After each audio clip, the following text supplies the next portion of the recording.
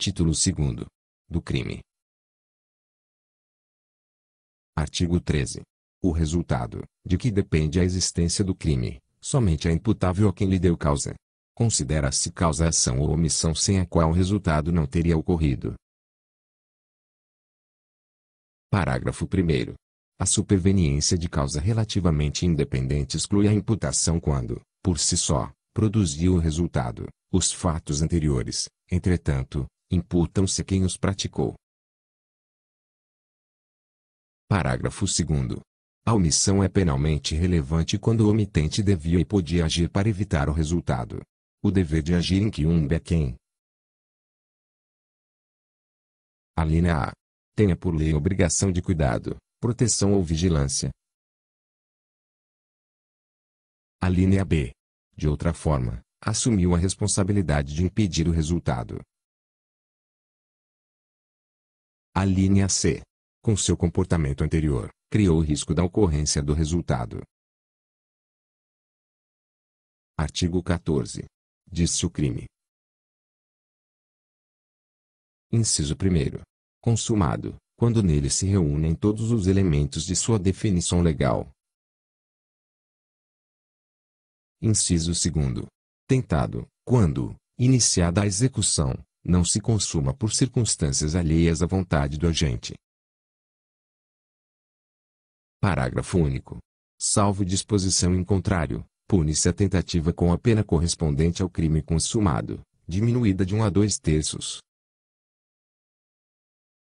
Artigo 15.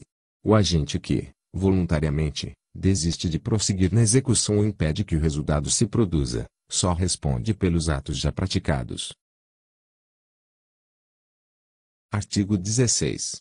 Nos crimes cometidos sem violência ou grave ameaça à pessoa, reparado o dano ou restituída a coisa, até o recebimento da denúncia ou da queixa, por ato voluntário do agente, a pena será reduzida de 1 a 2 terços.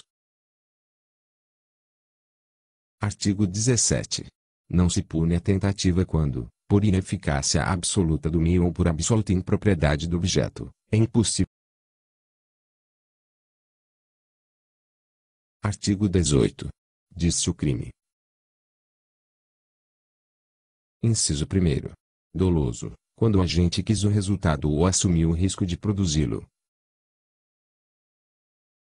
Inciso 2. Culposo, quando o agente deu causa ao resultado por imprudência, negligência ou imperícia. Parágrafo único. Salvo os casos expressos em lei, ninguém pode ser punido por fato previsto como crime, senão quando o pratica dolosamente. Artigo 19. Pelo resultado que agrave especialmente a pena, só responde o agente que houver causado ao menos culposamente.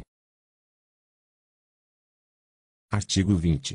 O erro sobre elemento constitutivo do tipo legal de crime exclui o dolo, mas permite a punição por crime culposo, se previsto em lei.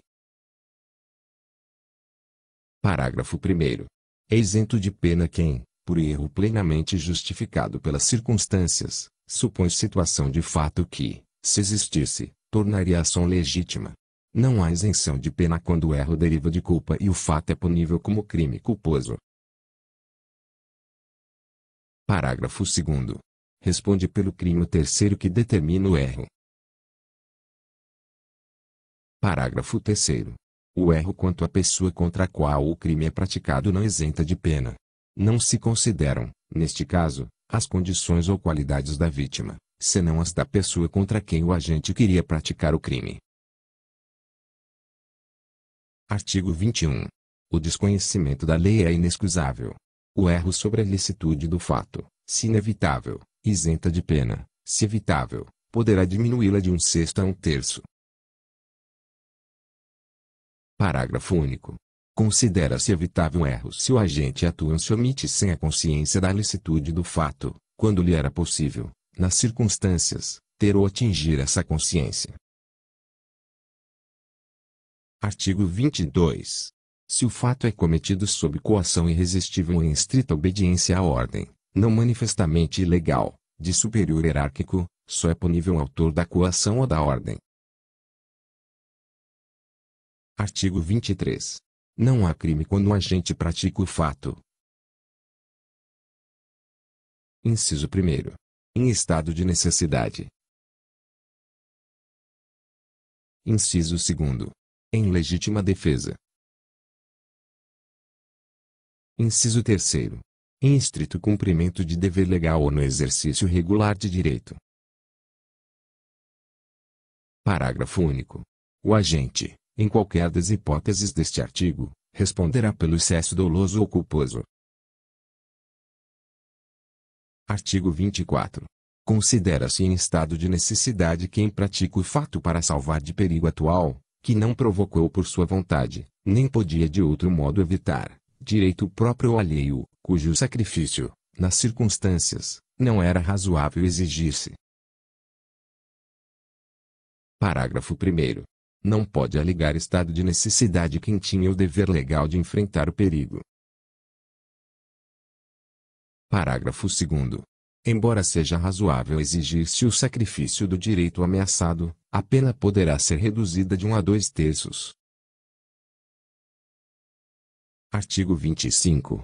Entende-se em legítima defesa quem, usando moderadamente dos meios necessários, repele injusta agressão, atual ou iminente, a direito seu ou de outrem,